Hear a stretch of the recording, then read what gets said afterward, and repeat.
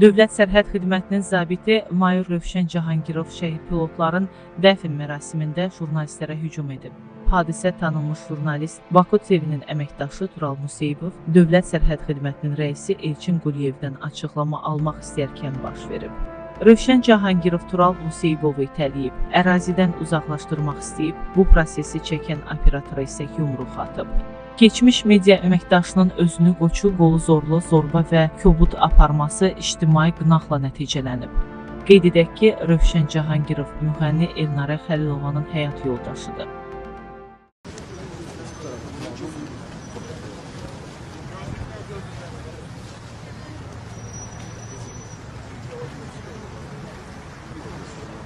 Yapıştır o kameranı çıkarmam bari. Canlıdasan. Çık bayra dedim sana. Tamam. Bayra çık dedim sana. Ha, siz Çık bak. qardaşım, nə edirsən sən? O rəsmi. Nə edirsən sən?